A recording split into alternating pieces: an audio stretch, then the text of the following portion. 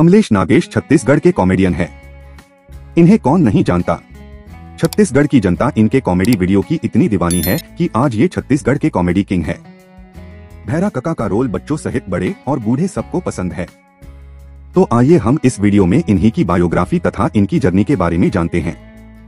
अमलेश नागेश एक ऐसा नाम जो कॉमेडी किंग के नाम से जाने जाते हैं।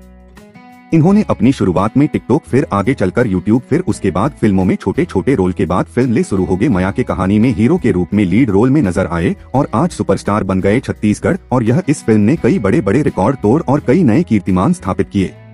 जन्म अमलेश नागेश जी का जन्म 19 मार्च उन्नीस सौ तिरानवे को गरियाबंद ज़िले के कामराज में हुआ।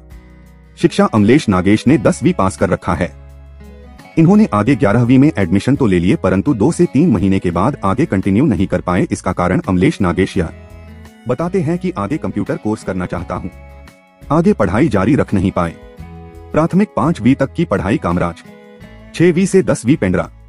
ग्यारहवीं छुरा, तीन चार महीना गए, फिर उसके बाद छोड़ दिए। परिवार। ये शादीशुदा है और इनका एक बेटा आयांश भी है। अमलेश नागेश कहाँ रहते हैं? अमलेश नागेश गरियाबंद ज़िले के छुरा से करीब की दूरी पर कामराज नामक गाँव में रहते हैं। यूट्यूब जर्नी कंप्यूटर कोर्स करते करते ये स्टोरी कविता वगैरह अपने से लिखा करते थे, फिर इन्होंने 2016 से 17 के आसपास अपना एक यूट्यूब चैनल से शुरुआत की। ये चैनल किसी कारण वश बंद हो गया।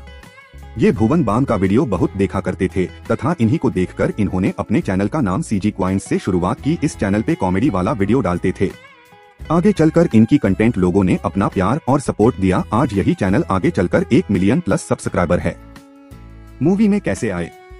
इनकी मूवी में आने का महत्वपूर्ण योगदान जाता है प्रणव झा जी को, जिन्होंने इनकी कला को देखते हुए अपने फ़िल्म बेनाम बादशाह के एक वीडियो सॉन्ग में इनकी एंट्री हुई और ये गाना तो सुपर डुपर चला।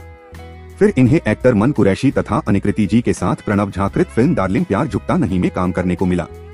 फिर 2023 में आई फ़िल्म ले शुरू होंगे माया के कहानी सतीश जैन जी के निर्देशन में बतौर हीरो के रूप में आए और इनकी ये मूवी सुपर डुपेर हिट हुई और कई रिकॉर्ड तोड़ डाले और सुपरस्टार बन गए।